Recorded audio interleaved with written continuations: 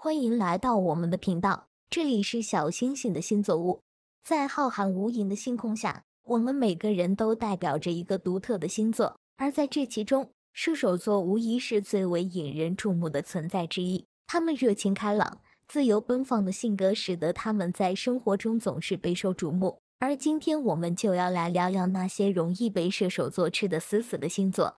一、双鱼座。温柔似水的双鱼座很容易陷入射手座的魅力之中，射手座的热情洋溢与双鱼座的柔情似水相互吸引，让两者之间的关系愈发紧密。然而，由于双鱼座过于敏感且缺乏安全感，往往会在射手座面前变得患得患失，最终被射手座牵着鼻子走。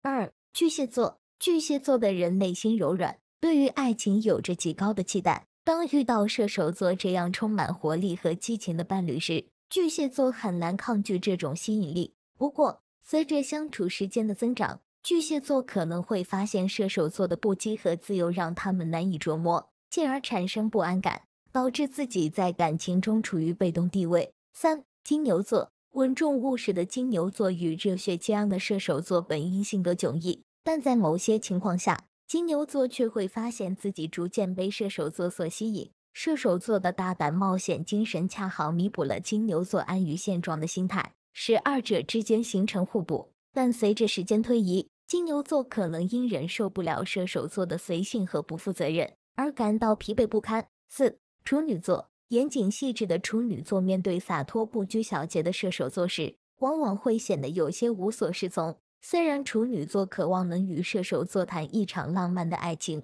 但实际上却常常陷进对方设置的各种条条框框里。在这种关系中，处女座往往会因为过分追求完美而让自己倍感压力。五、天秤座，风象星座的天秤座具有强烈的社交属性，而火象星座的射手座则以其独特魅力吸引了众多目光。当天秤座遇见射手座，彼此间的磁场会让他们难分难舍。但是在这段关系中，天秤座很可能会为了迎合射手座而失去自我，最后变得迷失方向。总之，每个人都有自己的个性特点，而在星座世界里，相濡以沫并不意味着要完全迁就对方。只有找到真正适合自己的另一半，才能收获幸福美满的人生。所以，请勇敢的去追寻属于你的那一份美好吧。